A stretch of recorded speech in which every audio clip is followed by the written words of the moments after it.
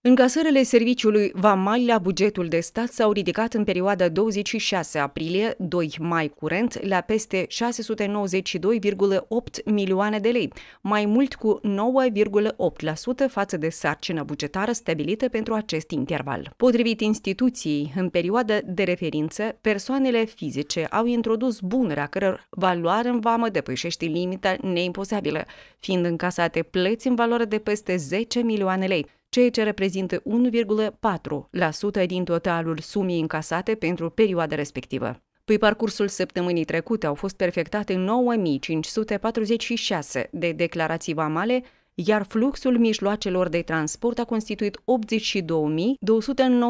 82.293 de traversări. Cele mai tranzitate posturi vamale rămân Avileușeni și Sculeni. La capitolul combaterea fraudelor, în perioada vizată au fost constatate 45 de încălcări ale legislației vamale și aplicate amenzi în sumă de peste 190 de mii de lei. Cele mai frecvente încălcări se referă la depășirea termenului de aflare pe teritoriul Republicii Moldova a mijloacelor de transport cu numere străine, declarate prin acțiune conform sursei citate. De la începutul anului curent, serviciul VAMAL a colectat la bugetul de stat 9,8 miliarde de lei, fiind atestat o creștere de 23,2%